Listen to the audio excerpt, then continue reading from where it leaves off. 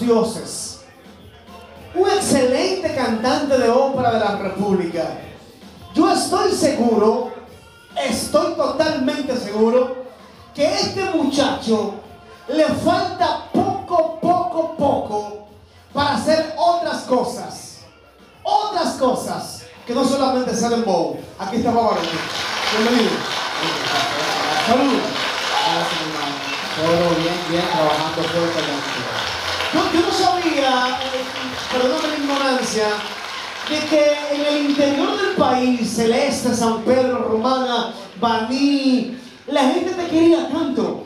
Yo pensaba que tu ruido solamente era en la capital. No, gracias a Dios, eh, más los niños que han eh, escuchado mi música y se han encariñado, la nueva Sí. generación se ha encariñado con lo que es la ópera urbana. Sí, los niños les gusta mucho porque como eres como un personaje, por la... Atención chulo, como eres un personaje y además Pavarotti es el único cantante urbano, el único que tiene un peinado que parece un trago de risol. Por ejemplo, mírenlo ahí, un trago de risol parece... Tú sabes que uno siempre busca Pero está bien. Claro, claro que sí.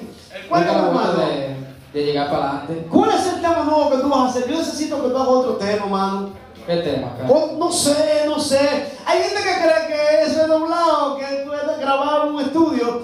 Pavarotti canta de verdad. Sí, sí. De verdad. Sí, una cosita ahí para ahora te lo haga. Sí, no. Una cosita, lo que tú quieras.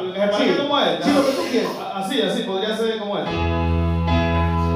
Wow. ¿Y qué es eso? Eso se parece a la voz de él. Vivo por ella. ¿Y tú te sabes eso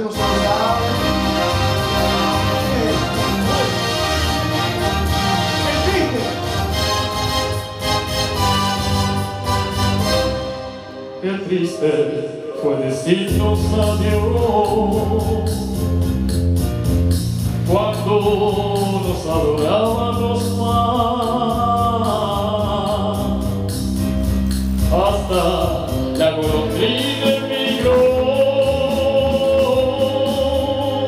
Pensando al final.